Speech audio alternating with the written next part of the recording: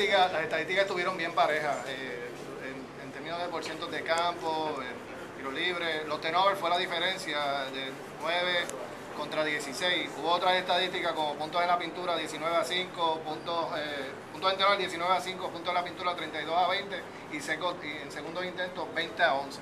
En las faltas personales. Nosotros Simplemente, si tú haces 17 errores, le estás dando oportunidades a- al rival. Y nosotros en juegos anteriores estábamos eh, en, esa, en esa estadística, estábamos eh, por debajo de los 10, pero con 17 contra un equipo contra Bayamón que tiene jugadores de experiencia que capitalizan muy bien, pues tú no puedes cometer esa cantidad de errores. Y si los cometes, como fue la situación real en el juego de esta noche, pues vas a pagar el precio. Y, y si buscas los convertidos, pues ellos convirtieron muy bien eh, muchos de esos errores nuestros. Y, y Tractor pues dominó eh, ahí cerca del canasto y Daniel no, no pudo con él hoy, eh, no pudo Jeff, no pudo Ángel, así que fue dueño y señor de, de esa área eh, en el juego de esta noche y se impuso su mollero, su fuerza y, y su experiencia, utilizando muy bien eh, su cuerpo.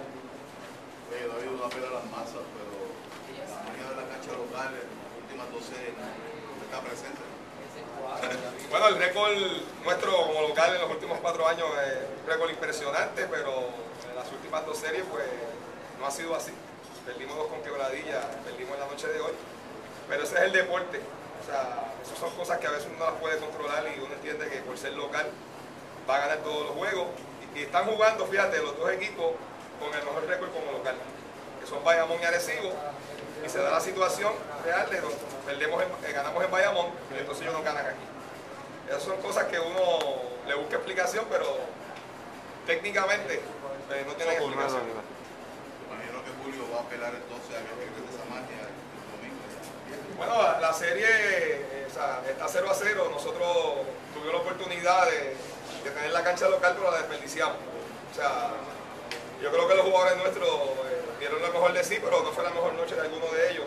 Y, y cuando el juego estaba ahí, eh, ¿verdad? A 3 a 5 puntos, pues ellos jugaron mucho mejor. Y claro, eh, las oportunidades en las tiradas libres fueron extraordinarias, 18 a 7, o 18 a 8 y en otros fueron 25 a 16. Así que esa estadística nuestra tiene que mejorar de alguna manera.